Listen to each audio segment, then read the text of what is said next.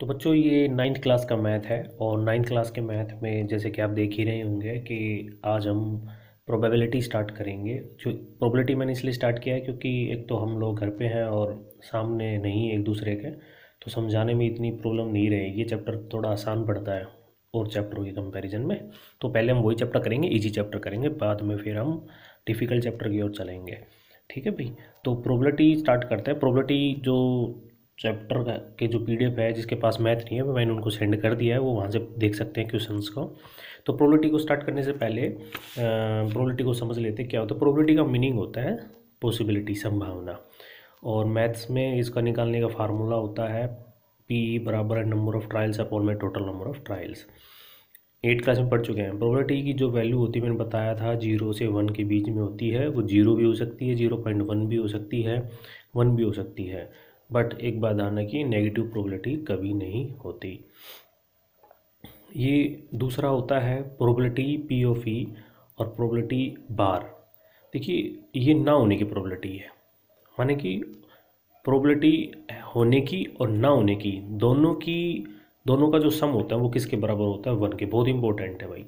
तो यदि आप होने की निकाल रहे हो और आपके पास ना होने की है तो उसको वन में से माइनस कर दीजिए, वो होने की आ जाएगी। सिमिलरली ना होने की है तो वन में से होने की घटा दीजिए तो वो आपकी ना होने की आ जाएगी। अब आपके पास दो कॉइन है, आप उसको टॉस करते हो तो प्रोबेबिलिटी क्या क्या रहेगी? ये सभी जानते हैं हेड हेड अब इस हेड को एक बार टैल से रिप्लेस कर दो, फिर इस टाइल को आगे ले आओ, और फिर दोनों टाइल हो जाएँगे। तीन सिक्के एक साथ उछाले जाएँगे तो क्या होगा?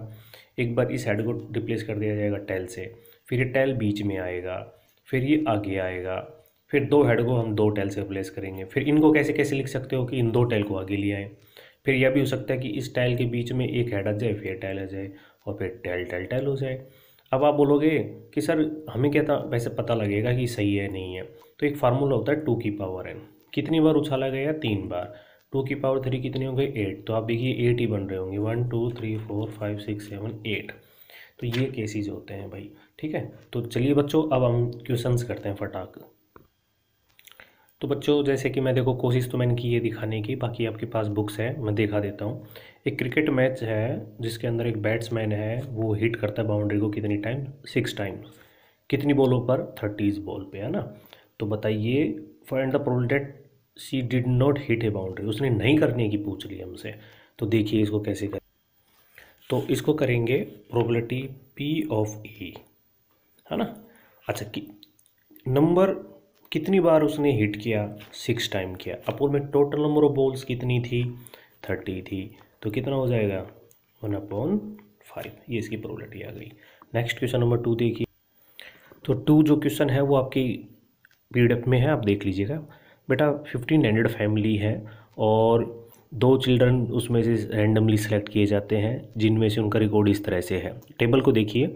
टेबल में number of girls in family ऐसी दो ऐसी फैमिली है फोर हंड्रेड सेवेंटी फाइव और ऐसी फैमिली जिसमें गर्ल्स केवल एक ही है, वो एट हंड्रेड फिफ्टी फोर्टीन है।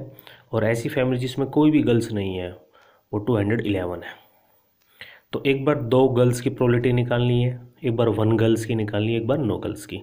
तो बेटा एक बार ध्यान से देखिए, ऐसी टेबल कहाँ है जिसमें टू गर्ल्स है केवल? तो आप देखेंगे टेबल में टू गर्ल्स की ऐसी फैमिली कितनी है? Four hundred seventy five.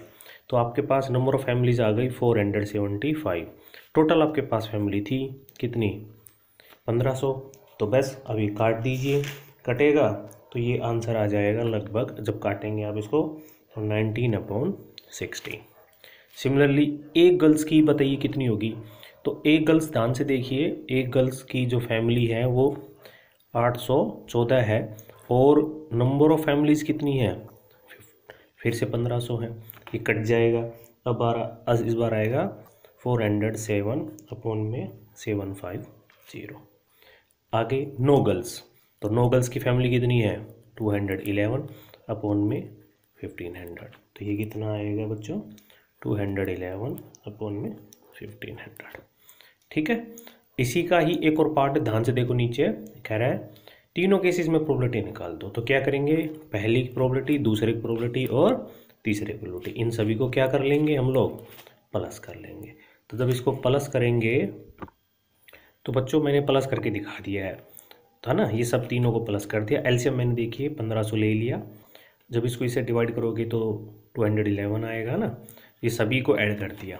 और इन सभी का सम आया fifteen hundred upon fifteen hundred था ही तो प्रोबेबिलिटी कितनी आ गई? वन तो ये हमारी प्रोबेबिलिटी आ गई। ठीक है? अब जो क्वेश्चन नंबर थर्ड है ना भाई, उसके लिए आप फोर्टीन चैप्टर निकालना पड़ेगा। मेरी बात को समझना फोर्टीन चैप्टर निकालना पड़ेगा।